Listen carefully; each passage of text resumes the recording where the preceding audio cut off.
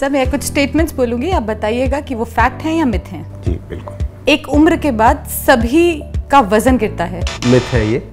एक एज के बाद थोड़ा बहुत वज़न गिर सकता है लेकिन पाँच किलो से ज़्यादा वज़न गिरना एक बीमारी का संकेत होता है। हर मेमोरी लॉस का केस या याददाश्त कम हो जाने का केस डिमेंशिया होता है। नहीं ये एक मिथ है। अगर मेमोरी लॉस से आपकी लाइफ या क्वालिटी ऑफ़ लाइफ गिर रही है तब हम उसे डिमेंशिया बोलते हैं अदरवाइज़ वो नॉर्मल है। एक उम्र के बाद सभी वृद्ध लोगों को कमज़ोरी या थकान महसूस होती है। जी एक मिथ है क्योंकि कोई बीमारी होती है तभी ऐसा होता है। वैक्सीनेशन सिर्फ़ बच्चों में होता है? मिथ क्योंकि ओल्ड एज में भी वैक्सीनेशन की नीड होती है। बुज़ुर्गों को किसी डॉक्टर की ज़रूरत नहीं होती छोटी छोटी चीज़ें तो उम्र की वजह से हो जाती हैं। मिथ क्योंकि ओल्ड एज के साथ कब बड़ी बीमारी छोटी तरीके से पेश कर जाए आप कह नहीं सकते। सब बुज़ुर्गों को ड्राइविंग नहीं करनी चाहिए। मिथ है अगर आपकी मेमोरी अच्छी आप सारे काम कर पा रहे हैं तो आप ड्राइविंग भी कर सकते हैं। साठ साल के बाद सभी बूढ़े हो जाते हैं। मिथ है बुढ़ापे की कोई एज नहीं होती। सात साल की उम्र के बाद सभी को रिटायरमेंट लेकर सिर्फ़ रेस्ट करना चाहिए। मिथ है।